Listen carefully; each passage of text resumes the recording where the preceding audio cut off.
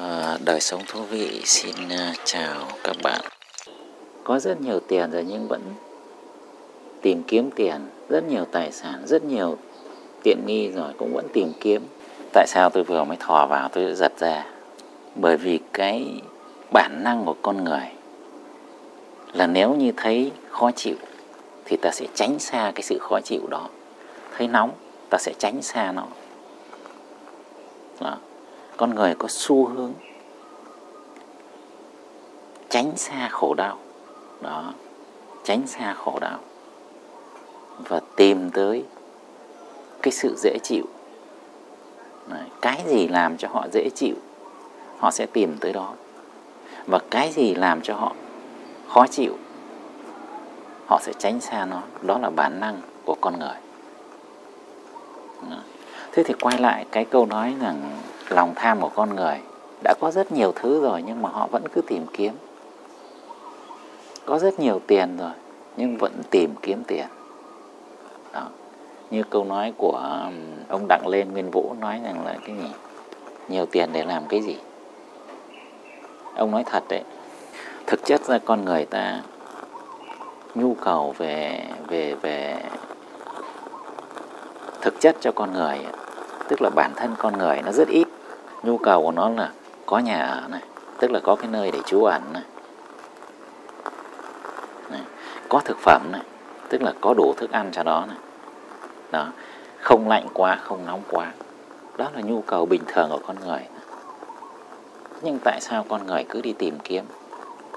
Quá nhiều thứ vậy. Đó, mà mà câu nói rằng là lòng tham vô đáy. Khi bạn à, đi tìm kiếm điều gì đó. À, bạn thích đi du lịch chẳng hạn.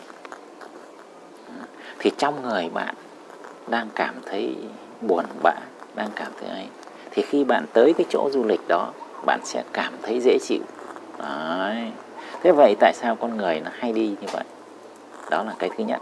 Thứ hai là bạn có một món đồ nào đó bạn sẽ thấy rất vui mừng. Đó. thì khi vui mừng đó nó làm cho bạn cảm thấy dễ chịu. Thì bạn nghĩ rằng à có cái món đồ.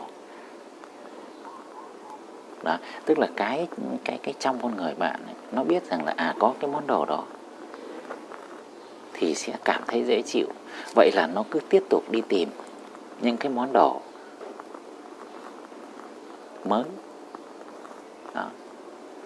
cứ hết món đồ này rồi lại đến món đồ khác tất cả là chỉ để làm cho chúng ta cảm thấy dễ chịu một thời gian nào đó Đấy. chẳng hạn như kiếm tiền cũng vậy khi có được nhiều tiền, tức là có thêm được ít tiền, Đấy. thì trong con người ta tại sao cảm thấy bình an tức là có tiền ta sẽ yên tâm về mọi mặt chẳng hạn như là không sợ đói không sợ nọ kia tất cả các cái. Đó, thì trong con người lại cảm thấy bình an một cái. Thì đó là cảm giác dễ chịu. Đó. thì con người cứ thấy rằng là à có thêm cảm thấy dễ chịu. À cái đó nó làm tôi dễ chịu tôi lại tìm kiếm. Bởi vì nếu như đấy, trong con người mà không có sự bất an thì họ sẽ không cần tìm kiếm cái gì đâu bạn ạ. Họ sẽ tận hưởng mọi thứ xung quanh hiện hữu đang có. Còn có cái trường hợp như này nữa các bạn. Một sự ờ, bất an. Những người mà hay hay mập. Những người mập thì thực chất ra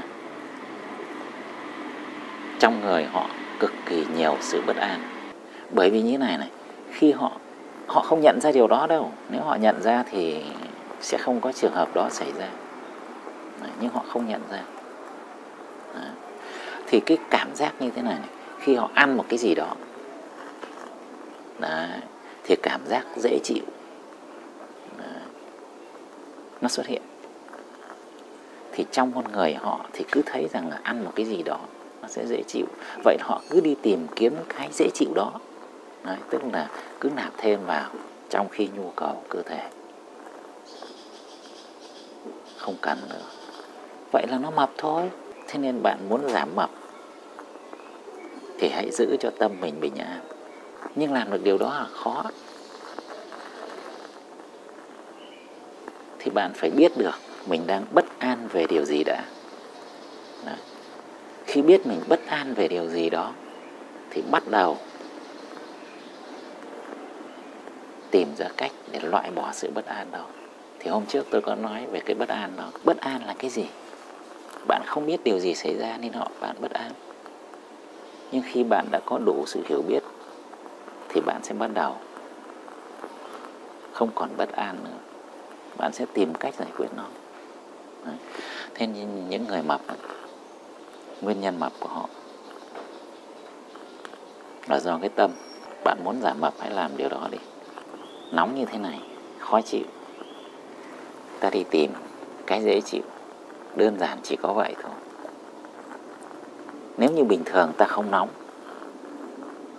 ta sẽ không phải đi tìm cái này đâu bạn ạ. Đấy. Thế nên nó là lòng tham. Lòng tham là cái gì? Ta đang bất an, ta đang khó chịu. Ta tìm những cái dễ chịu thôi chứ không phải lòng tham đâu bạn ạ.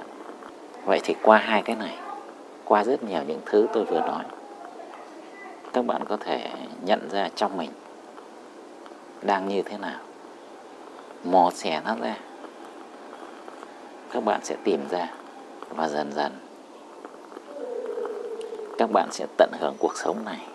Tôi nhắc lại, nếu bạn không bị nóng, bạn sẽ không cần cái chậu nước này đâu. Đó.